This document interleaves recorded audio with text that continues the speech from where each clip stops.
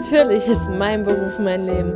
Ich habe noch nie verstanden, wie andere Menschen das nicht so sehen können. Totaler Quatsch.